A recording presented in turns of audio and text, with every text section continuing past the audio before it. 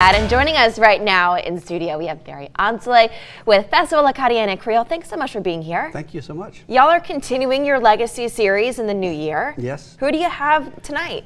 Uh, we have uh, a, a, a, true icon of Cajun uh, music, uh, D.L. Menard, whose 1962 uh, recording of La Porte en Arrière, The Back Door, changed everything.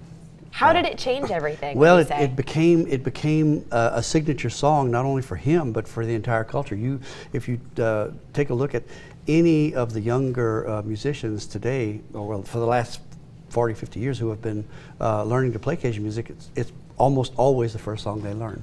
It became that big. Since 1962, uh, Floyd Soileau at Swallow Records tells me that it's sold over 500,000 copies. Wow. Yes, a true icon. Uh, Rolling Stone magazine listed it uh, at, at, number 72 on its greatest country songs of all time. That's incredible. And, for, it's, in, and it's in French.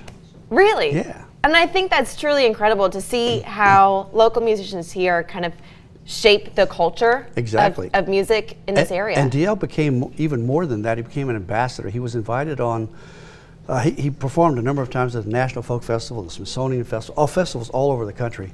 But uh, eventually, in the 90s, he, became, he was invited uh, on several State Department tours, of Central and South America, wow. Uh, Asia, the Near East. So he had like a global impact. This guy was really, really serious. And he's from Erath, Louisiana.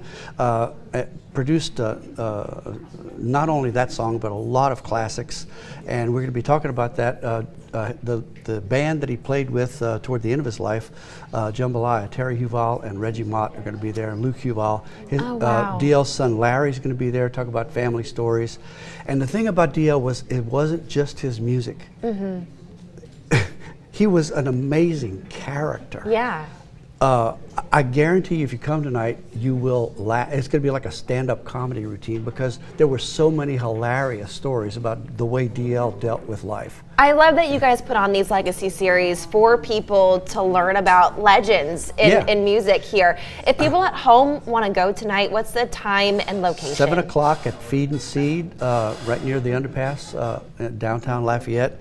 Uh, admission's free. We uh, we appreciate any support you uh, that anybody's willing to give, but uh, we're, we're just doing this to celebrate our treasures. I love that you guys do this in the community. Barry, thank you so much for thank coming you. on to share this with our viewers tonight.